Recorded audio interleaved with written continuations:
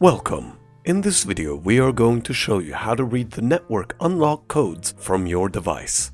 You can check if your device asks for network unlock codes if you place in a SIM card from a carrier that is different from the original. If your phone asks for network unlock codes, Chimera can read it from your phone. Firstly, connect the phone in ADB mode and click on the Network Factory Reset tab. Then, on Read Codes Online, select the latest method and wait until Chimera reads the codes.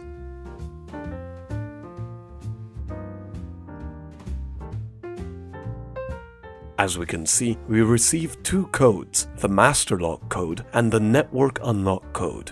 The master lock code is needed after the three unsuccessful unlock attempts when your phone asks for the network PUK or master unlock code.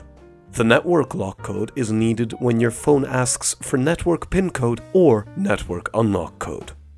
Thank you.